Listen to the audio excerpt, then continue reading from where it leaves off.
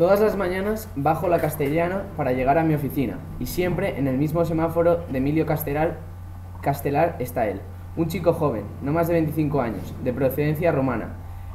que en cuanto el semáforo se pone en rojo empieza su andadura por los carriles y se acerca a los coches con una gran sonrisa ofreciendo pañuelos de papel a todos los conductores y ocupantes de los vehículos.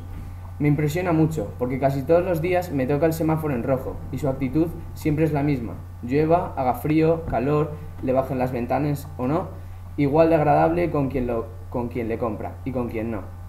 Como si realmente no le importase o no lo necesitara. Él siempre mantiene una sonrisa en la cara y anda con la misma energía entre los coches como si fuese la primera vez que, que hiciese ese trabajo. Recorre ágil los 100 metros que más o menos le da tiempo en el corto plazo en que vuelve a, cambiar el semáforo, convirtiéndolo en una prueba sencilla y cotidiana, que vuelve a repetir y vuelve a empezar cada vez que se pone el semáforo en rojo. No puedo evitar pasar, pensar en ello me parece algo muy valioso, porque muchas veces veo en mí mismo o en la gente que me rodea que cuando no nos salen las cosas como esperamos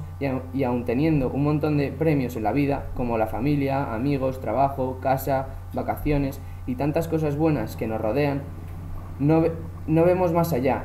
y no las apreciamos. También imagino a veces que algún día en uno de esos coches que baja diariamente la castellana y se para ante el semáforo en rojo de la, de la plaza Emilio Castelar, eh,